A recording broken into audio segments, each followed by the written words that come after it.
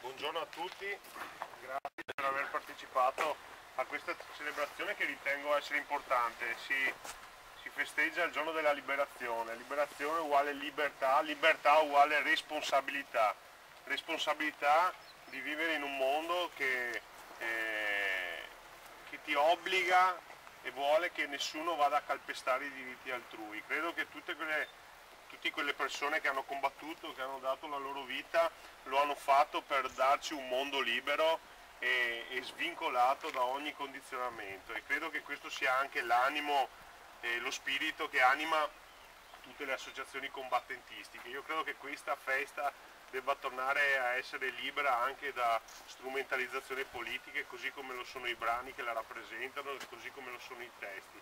Qui non credo che debba esserci politica, qui debba esserci soltanto un, deve essere un grande contenitore di valori, quel valore che è la libertà. Queste persone hanno combattuto, hanno dato la vita eh, appunto con questo spirito senza pensare che oggi noi avremmo potuto cominciare delle battaglie politiche legate alle loro battaglie, quelle reali che li hanno portati purtroppo a perdere la vita.